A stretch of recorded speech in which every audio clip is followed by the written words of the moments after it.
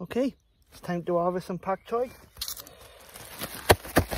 And this couldn't be easier.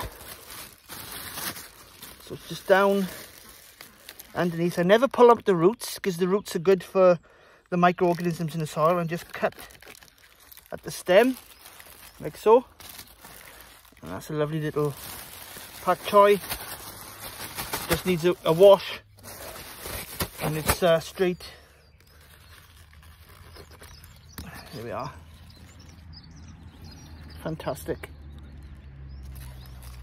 Anyway, on the stove today.